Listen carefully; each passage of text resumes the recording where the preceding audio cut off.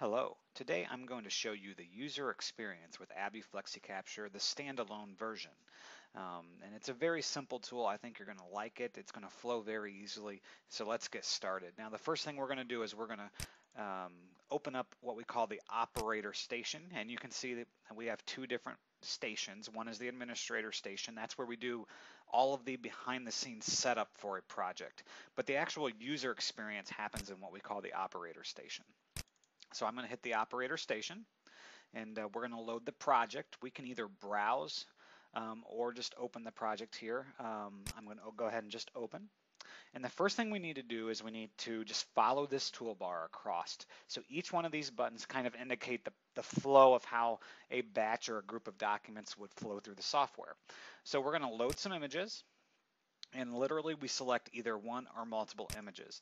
Um, this is actually the image that we're going to take. This is a PDF document that contains multiple versions of this form for us. So we're going to just double click it and the software is going to create a batch automatically. You can see here it put a new batch and what it's going to do is add that file to the batch. So it's going to add that and then the next thing it will do is it will actually automatically do this recognize phase for us. And when it recognizes a document, that's when the software extracts the details. It tries to recognize what kind of document type it is and then extract those details for us. And that's what it's in the process of doing right now. Okay, now once the software is done recognizing it, it is ready for verification. Now, a lot of options from here on out are customizable based on what you want to experience within the software. I'm going to show you a couple of different ways to run verification.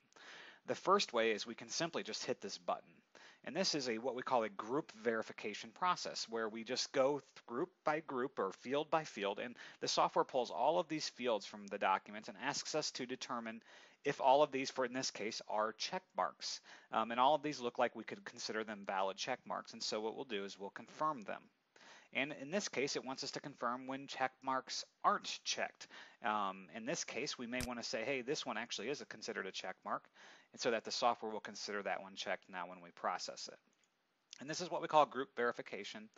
Um, and you can see it. It's telling you what the software recognized as the character, and here are the different images within the different files that it recognized as well. And it's just asking us to determine which one of those matches and we can literally go field by field and we can see here the percentage that we're at um, based on the batch and document that we are here as well. So for example, if these are, the software recognizes these three characters as a two, well it's we, we can assume that these are ones. So we can actually mark those as suspect characters and continue moving on, or we can even correct them and then we can tell the software these are ones, not twos, and therefore it will save that for us. So this is group verification, and we just literally walk our way through until we're 100% verified. Um, it's a very common and fast way to get through verification. The other way, if I close out of this, is to just double click the batch. And when I double click the batch, you can see that one file contained four separate documents that we extracted. And literally what I can do is just walk one by one, double click them. And from a user experience, we see what the software extracted on the left versus what the document looks like on the right. And we compare, this is what we call verifying that the soft, what the software extracted is correct. Um, and so we would walk through every single character. Any suspect characters are in red, um, or anything underlined in red does need some sort of attention, or is there for us to to get our attention, just so we as humans realize that there uh, is either something that requires us to look at or needs our attention so we would literally just continue walking through the software. Now, the software also has built-in rules within it, and these are rules that are customizable. They're up to you, but in this case, the software is saying the first names don't compare on a couple different of the pages of this document, and it really wants that to happen. So all we need to do is we can see if we just click on the field, it tells us where these fields are at that must match. In this case, uh, first name is on you know two or three different pages apparently three pages here and it wants us to compare that they all look the, like the exact same name.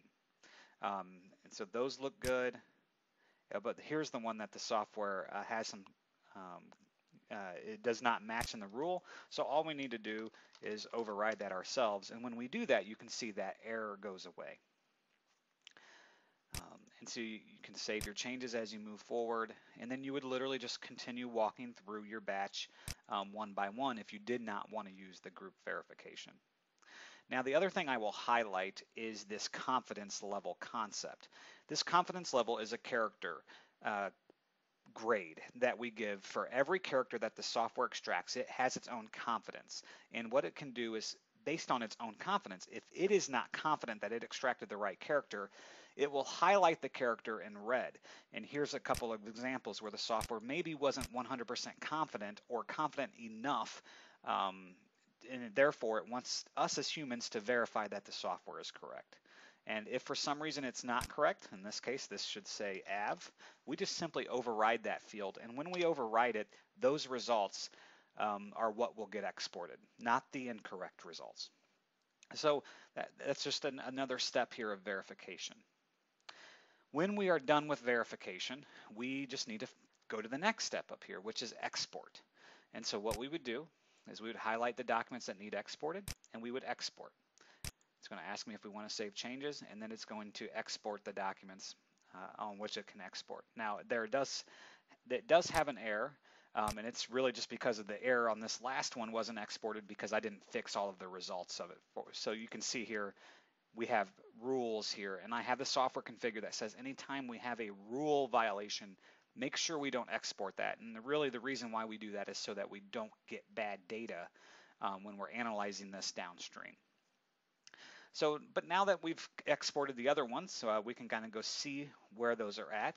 And uh, really, all of this is set up uh, in the administrator station on where documents are exported to, so not within the operator station. So we're going to assume that you know how to do that already. Um, and so we will go look at the uh, exported results here. And you can see here, in this case, we have situations where we show every image, in other words, every, every separate document, and then we have all of the data as well. That's what these Excel spreadsheets are. And then lastly, if we redact some information on documents, we have those redacted details here as well. So that is the user experience within uh, ABBYY FlexiCapture standalone and it's a really fluid, simple process, a very powerful process in the background as well. It gives you the ability to process with flexibility your documents with your rules that are for your business. Uh, if you have any questions or if you enjoyed uh, watching this video, please let us know. Um, and we, you can reach us on our website at www.ufcinc.com.